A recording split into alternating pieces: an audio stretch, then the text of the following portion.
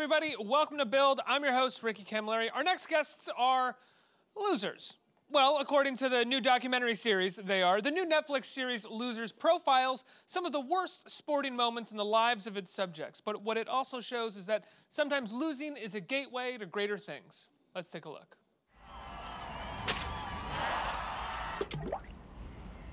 Hmm, that's not a good thing.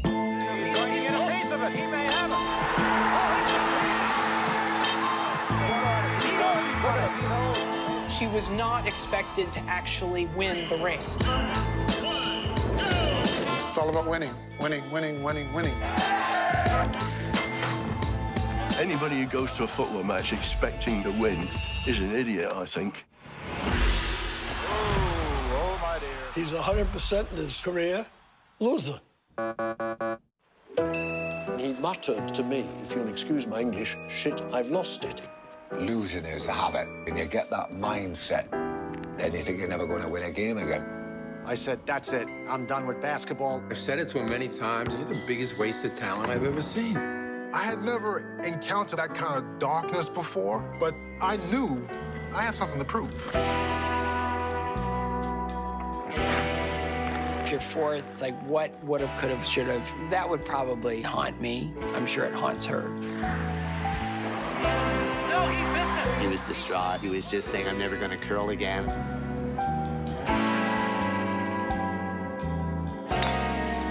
Things happen for a reason, you know? And now, which part of yourself is going to come out? Who are you really? What are you made of? If you're not going to be a good loser, you're not going to be a good winner either. Many days you feel like crying, but winning is not the most important thing in life. What's up. Getting knocked out was the best thing that ever happened to me. There have been more downs than ups. But in a way, that makes the ups feel all the better.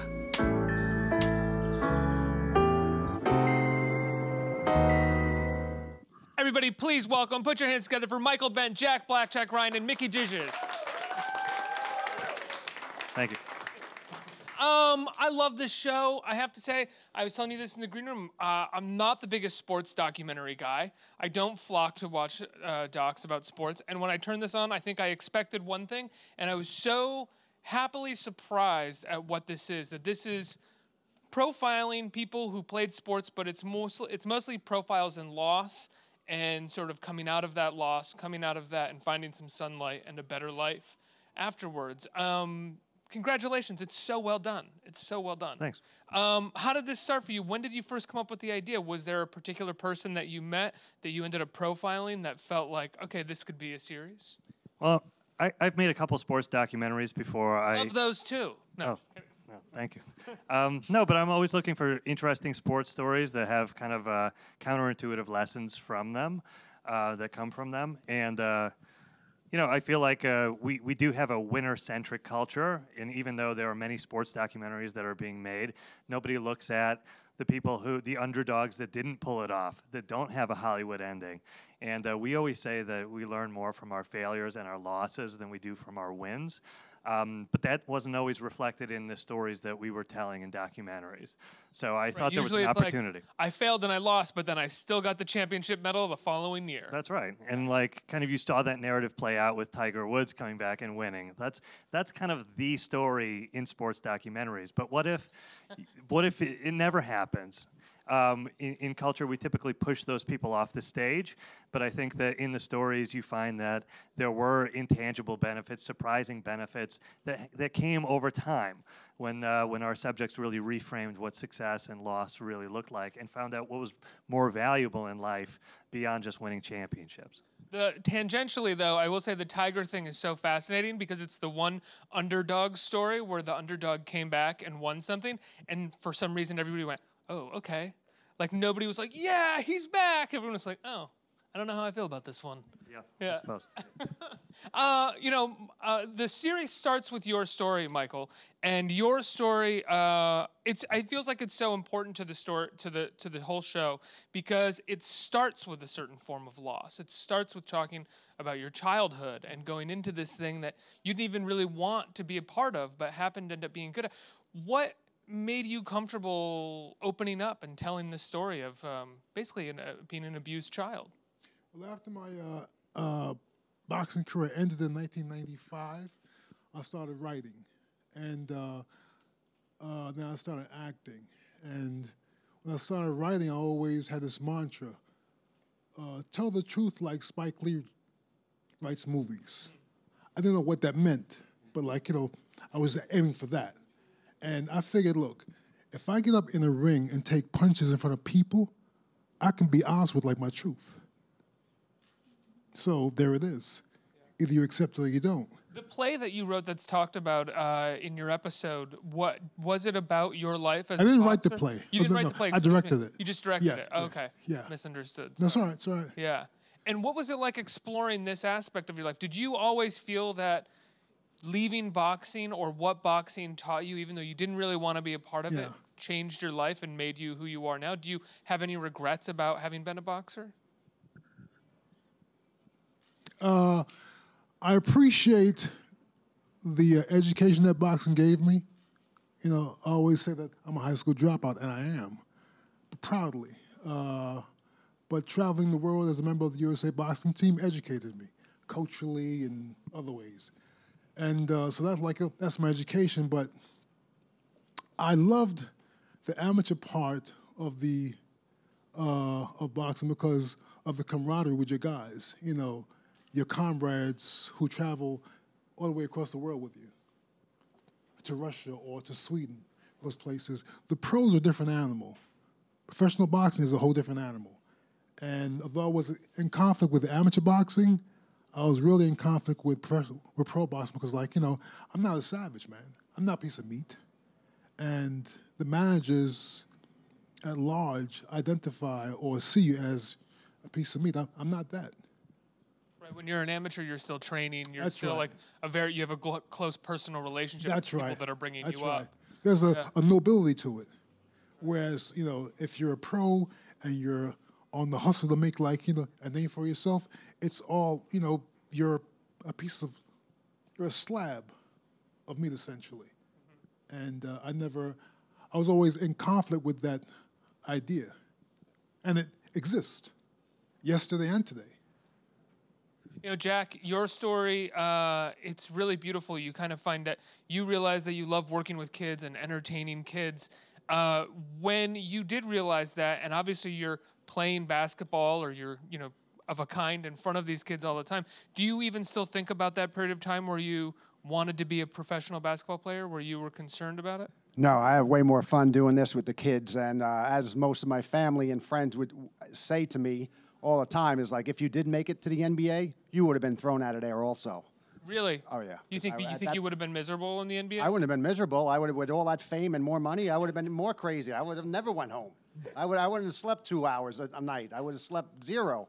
Um, so I definitely, you know, I was at that time I couldn't handle any authority, you know, and then I finally found peace when I became a Harlem Wizard, and I knew this is what this is what I was here for. I practiced for this my whole life. I've always been a class clown. Got thrown out of every classroom. You know, can spin a basketball when I was eight years old, and was a good basketball player. So I hit the nail right on the head. And you know, I'm going to be 58 years old, and every single day I'm at schools. You know, I get to hear the laughter of children and see them smile and feed them positive messages. Was there a moment where you felt like you found that peace, or was that something that you noticed within yourself over the course of time while while while working as a wizard? it happened like overnight. I I got my self-esteem. Like I said, I knew this is why I'm here. I was not letting this go. I was not screwing up, and I just went back into the gym like when I was a little kid to be to be a good basketball player. I said I'm going to be the best trickster on the team in a year, and in one year, I was. And one of my guys on the team said, you know, you can make a lot of money doing halftime shows. So I put together a tape, and my first halftime show was at the Garden, Madison Square Garden, and it's it's just been heaven ever since 1997, June 1997. Overnight. Yeah, overnight, I I knew I, I, I knew this is why I was here. And you kind of had a similar experience when you were injured, or in, to a certain degree injured, and you were basically told that you couldn't box anymore. You said that essentially the first feeling that you had was a wave of relief that your boxing career was over, right? My last pro fight, Yeah. Absolutely, yeah. I got knocked out uh, by Herbie Hide in 1996, 94, so, sorry, in seven rounds. And, like, you know, so I went into a 96 hour coma and uh, woke up and. Uh, A 96 hour coma, medically induced, right? It's four days, yeah, yeah. And the uh, my uh, neurosurgeon John Sutcliffe said, uh, "You can't fight anymore." And uh, I was I was conflicted because boxing was what I thought defined me, right? And uh, as a fighter, you want to get some kind of retribution. But I, I mean, I I knew that uh, that thing, boxing, wasn't uh, what I was uh, designed to be doing. You know, as an amateur, yeah, but as a professional, no. Even if you are designed, no one's designed to do it that long. I mean, I had a relative, I had a relatively short career as a pro, but I had a vast amateur career. Yeah. And those, like when you you know compound those numbers, it's wear and tear on the body. It's trauma because you get you know you're sparring as an amateur and you're getting hit, and you're fighting as an amateur and you're getting hit. You compound that like you know by the professional aspect, it's even heightened even more. Now, when you found writing and acting, did you feel as though you found the same kind of peace or a similar peace that Jack is talking about? More. Well, well, well, Still well, kind of competitive more, then, I well, see. Well, yeah, well, no, not well. I get a- well I'm sorry. I jumped into your, you know, into your uh, question, but uh, no, I, you know, when I started writing and acting, um, I hadn't experienced any feeling like uh, like I had when I um, wrote a piece for Bert Sugar's fight game, and he said, "Mike, that's really good stuff." Whoa, you know, and when I, uh, you know, when I nail a scene in acting class, and my uh, acting teacher, who typically gets in my behind, he says, "There's nothing like it, man." Because, like you know, acting and writing, it's being creative, whereas boxing, on some level, someone's being destroyed. That's where it is. What was the selection process like for your team, for you and, and your team that put this together? What kind of were you, did you know what kind of stories you were looking for when you set out, or was it let's see what's the most interesting thing in general that comes back? Well, I just want to say, like, just sitting here, it's, it's such a privilege to sit with these guys because I admire them so much. And, and one thing about like getting to know them and hearing their stories is that words like bust and loser have been things that have been labels that have been put on these guys, despite the fact that they have challenged themselves to to find their their place in the world, and they have in an admirable way. That like I have two little boys, like I would love for them to find their place in the world in the same way that these guys have done, and I feel like actually having gone through everything that they went through it's, so- much more relatable than, than so many of the, the champions, you know. So I was looking for for stories of people who who endured difficult moments in admirable ways, in ways that we could look at and say, well, you know, our first impression of them maybe is that they never won the big one, you know, or or in Michael's case he did, but he he was quickly uh, out of the game after that. In Jack's case, of course, not making the pros. Oh, and the the popular perception maybe is that Jack wakes up every morning and thinks like, oh, well, what if I hadn't, you know, done this or that? But actually, um, you know, having had those experiences go uh, take place over, you know, a little bit, ha- have processed those things and, and found their way uh, through in an admirable way. That that undermines this this idea that that all of us should be on winning streaks constantly ourselves in our lives and expect to always get the job, the money, the girl, the fame, and everything else. Uh, for for people like Michael and, and Jack who have moments in their life where they don't feel like they found their place yet, no, it's okay that uh, sometimes it takes a little bit longer. And if you don't feel like you're like a, a winner or a success right now, like keep plugging away, and, and other opportunities will present themselves. I think it's so interesting that you that you mentioned that you have two boys because it is something that we never tell young people or mm-hmm. talk to young people about that life is going to have lots of forks and you're going to make some is going to be opportunities and some is going to be failures. And so often I remember in high school all the kids who loved sports who would say I'm going to be a professional athlete nobody wanted to tell them they couldn't do it So it'd be like, yeah, sure, you're gonna be. He's not gonna be a professional athlete, and then they would leave high school and have no idea what to do because they thought that they were on some kind of track that they were not necessarily on. And if they had something like this, or just people telling them that like you're gonna lose and then something better is gonna come along, you just have to give yourself over to it. It could be wildly beneficial. Have you shown your sons the the show, or are they like very little? They're little. Oh. There's some pretty tough stuff in the in the show. Uh, we we go there, but but for sure, I want them to know that.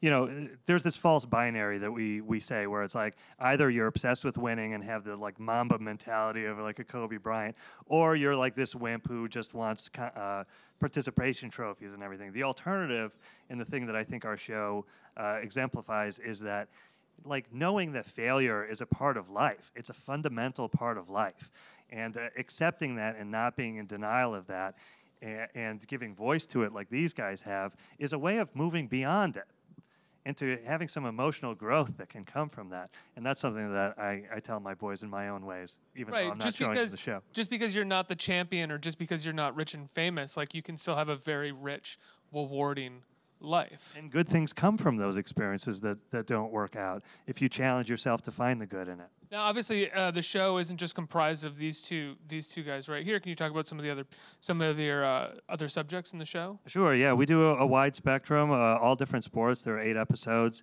Uh, we go. We do. A, there's a figure skating episode, uh, a dog mushing episode, uh, uh, an ultra marathoner in the Sahara Desert. Uh, all of them are very, very different, have different experiences, different sports, and the, how kind of the failure or the loss uh, manifests in their lives are very, very different. Uh, and what they've found from that, taken from that experience, the positive, admirable qualities that, that have revealed themselves are all different. But it just goes to show that, yeah, in moments of, of loss or failure, it's not the end of the story. Sometimes it's the beginning of a new and exciting chapter. What did you guys think when you were first asked to tell your story of of losing? I was like, all right, they're going to do another one. Because they did one on me 2007 that just made it to YouTube. But I really wanted to do it. Um, the guys that I spoke to uh, in the beginning, Brendan and uh, who was the other guys? Brendan and Rick, uh, they were really nice, and uh, I met with them, and they were really cool, and they were really interested in my story, and I said, sure, let's do it. Jack, do you still play over on West Fourth all the time? Yeah. Really? You're Still. 50. How old are you? I'll be 58 in July. You're yeah. 58, I and you're play all- still on West Fourth playing street ball with people. With, Yes, with I do. Yeah, all the time. Is there anybody else there over 45? Oh yeah, yeah. There's a few. There's a oh, few Oh, of the old timers. Actually, years ago, one of the guys came up to me and he said, "You know, we're all going to get the logo of West Fourth Street on our bodies somewhere." Oh, wow. so they said, "Are you interested?" So I said, "Sure, I'll get it." So there, I, there's the West Fourth Street logo. That's my uh, that's my backyard. That's my home away from home. You How know, long have you been playing there? uh, 35 years. 35. And I have friends from third, still there. 30, Shermice, Leo, Worthy. Um, they're still like me and Sherm call each other my brother from another mother. So you know, like I said, that's my backyard. I'm going there right after this. I'm not going to play, but I'm going to see the guys right after this. You're just gonna hang out and watch them. Watch them. I'm just going to go watch them basketball? argue. Yeah, that's all they do is argue. You know, like, I mean, I'll just stand on the court and watch. And Michael, uh, what about you? What were your first thoughts when, when, when they approached you to tell your story? I said, absolutely not. Not Really? doing it. No, of course not. Oh. No. no, Mickey, you know, it's, uh, I was introduced to Mickey by, uh, by Bryn Butler, a writer from Montreal. And me and Mickey just connected organically. Uh, we said, you know what? Yes, let's, let's do it. And we shot uh, three days in LA, two in New York, my old neighborhood in Queens, Cambria Heights, uh, Flushing Meadow Park, where I first started boxing. And uh, I mean, him and the crew crafted uh, a beautiful piece of work. And I have to say, like uh, another thing that was was a reason why we we made uh, Jack and Michael stories is that when when we spoke to one another for the first time, there was this radical honesty. With, with which they talked about their experience, uh, s even the dark moments that they had to get through. Um, I, and I give them credit, and I think that that's the reason why their stories have connected with an audience around the world. They've both gotten tons of messages from people who were really, really inspired by that candor, by them talking about what it really felt like to be in in difficult moments where they didn't know the path forward. And those things were evident to me when I when I first spoke with them. And I'm just I'm just grateful for for them for for their honesty in talking not just about you know the end result, which was so successful and, and has been things that have been been great for them, but but also like the more difficult moments because I think all of us can relate to moments in time when we just don't know what to do next you know, where we're a little bit lost, where we're recovering from some sort of failure, whether it's losing a job, a relationship explodes, or, or whatever else. And uh, it's been amazing to see that people who aren't professional athletes, or like yourself, aren't necessarily people that love sports documentaries, really be able to connect with these stories in a, in a really deep way. Michael, what was that period of time like after you decided? Well, you were told that you couldn't box anymore before you found writing and acting. I mean, obviously, you were kind of a reluctant champ already in the sense that you weren't sure how much you loved the sport of boxing or being in it. But once you had to leave behind this period of your life Yeah. that was, you know, what, 10, 15 years where Yeah. all you were doing was boxing? 18 years, actually. 18 years. What was that like to suddenly not have boxing in your life It's at terrifying. all?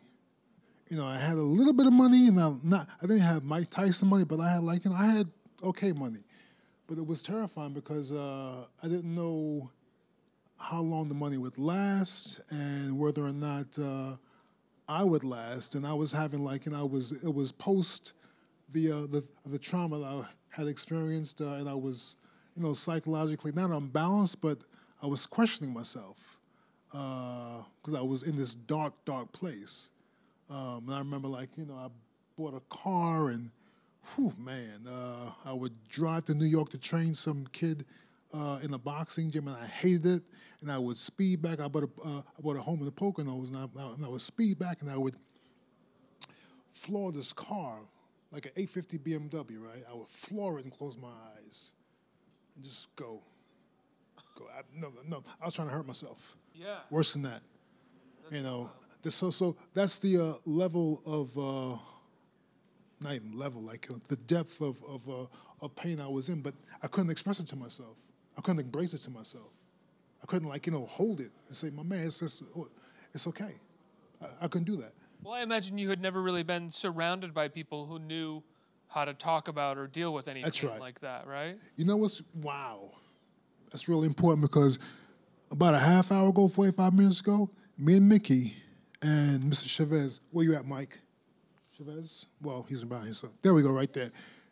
We were sitting around at, at a table, not too far from here, at a Japanese restaurant, and we were like sharing, right? And we were sharing stuff that men don't typically share, like deep, honest, raw stuff. And uh, I shared a, a tear or three or four or five or 12, you know, and, you know, they were all, they were embracing of that. And men don't do that, you know, and, and uh, said that as men, we have to find safe places to express our, our, um, our pains and our vulnerable points, you know, and that was like 45 minutes ago. We don't Those are do the that. only conversations I like to have. Sorry? Those are the only conversations well, I like to well, have. well, in addition to. Yeah. But like, you know, those kind of conversations are important because we don't do those things, man. You know, we're ashamed of it. It's like it's not manly. Yes, it is manly. I cry. Tell me I'm not a man. I'm like, you know, what's a man anyway? I, I don't know. I, I'm still trying to find out what the hell a, a man is. You know, but uh, so yeah. Did I answer your question? Of course. Yeah, that answers my question. okay. Yeah, yeah. Well, it's hard when you when when you're feeling when you're in a, a place and you're broken and you have a lot Mhm. of feelings and no one has ever taught you. and you're a hypersensitive. Yeah. And f- for those of you who don't know, most boxers who who get punched in the face for free, they're hypersensitive. Mike Tyson is hypersensitive, which is why such a you know he's so raw. You know, Muhammad Ali was hypersensitive and nobody ever talks to them or works with them not. as if they're hypersensitive. because they're savages, man. You know, like you know, you're you're you're well, well, not savages, but like you're warriors, you're gladiators, and no one thinks of a gladiator, a gladiator as being like a, this sensitive human being who needs counseling or just like a hug. You know, Um, I think we have a question coming in from Twitter. It's uh, Did any of the athletes you profiled think twice about participating in the series once they heard the title? Did you consider other titles? Yeah, the, the title uh, came together af- as we were we were putting the shows together. So when we initially reached out to the guys, it we, the show didn't have a title. We were still kind of kicking things around. And like I mentioned earlier, um, in, in talking with the guys and doing the interviews, there were these words like choke artist or, or loser that kept uh, coming up organically over and over. These were labels that these these world class athletes have had to deal with and, and have had to contend with. Um, or bust or whatever. So uh, I wanted to make sure that that the shows uh, when we um, when they came out, they, they were very dignified portraits that obviously had very, very good lessons in them. And I thought, you know, putting the label loser on was, was a commentary about how all of these guys, if, if I hadn't come to them, um, you know, maybe these stories would not have been told. These are not the typical kind of stories that our uh, culture values. And I think we're whiffing on a lot by not telling these stories because there's a lot of wisdom and a lot of things that all of us can take away from these stories if they're told with sensiti- sensitivity and with dignity. And even in narrative, uh, in fiction, we oftentimes, when we tell the story of the quote unquote loser, that's the loser that is trying desperately to cling to the thing that they had had before. I mean, the first thing that comes to mind is like the wrestler with Mickey Rourke, which is that like he's desperately still trying to be the wrestler. We're not showing the guy who was one thing before, didn't work out, and has found a new life and built something even potentially even better for himself, or at least spiritually. Yeah. I think we have a couple questions uh, from the audience. Who has a question right here? Hi, um, I wanted to. I have a question for Mickey. I just wanted to ask: Did you ever think about telling, or would you ever in the future tell the story with like a different type of people, like maybe like a failed actor, a failed politician, uh, or did you feel like you really achieved what you were trying to do with this version, with the sports version? Uh, th- th- thanks for asking. Um, I, I certainly feel like because there's a universal um, thing that can be that can be uh, you know universal wisdom that can be gleaned from these sports stories. I certainly feel like these stories e- exist in other worlds, politics, business, you name it. So I would love to explore that. Uh, one more. Hi, my question's also for Mickey. I was wondering what your most loved aspect of documentary filmmaking is, and also maybe what's the most challenging aspect of documentary filmmaking. Well, the the thing that I love is, is uh, you know, obviously getting to meet these extraordinary human beings and uh, accepting the pressure and responsibility that co- that comes from wanting to tell their stories and to to reciprocate how the generosity that I feel like they showed me. I mean, for them to to tell me about moments when even they were having feelings of being suicidal, uh, that's a huge responsibility for our team to present in a dignified way. So um, you have to just like accept that uh, challenge um, as part of it, and and it's you know it it's it's tough. The the schedule is unrelenting. We were 12 weeks on the road uh, shooting. Uh, the episodes, we were in the Sahara Desert, we were in uh, Alaska, so just physically, it's, it's rough. Uh, doing the animation, which I felt, you know, was in service of telling emotional parts of the story. That was all drawn by hand. I mean, you know, it's it's it's difficult, but Who all in, it? uh, I drew most of it. You drew most of it? Yeah, Wow. I, yeah, and I had a I had a team to to help me. Uh, but it was 50 minutes of animation on top of everything else in, in the year that we made the show. So uh, all, all in service of, of uh, hopefully telling stories that, that connect with an audience, you know, so it's, it's all worth it in the end. That's incredible. Uh, guys, I love the series. Um, congratulations on it. Uh, it's on Netflix right now. People can check it out. Uh, and everybody give them a huge round of applause for being here. and Thank you for Jack, having why us. don't you, Jack, why don't you spin us out here?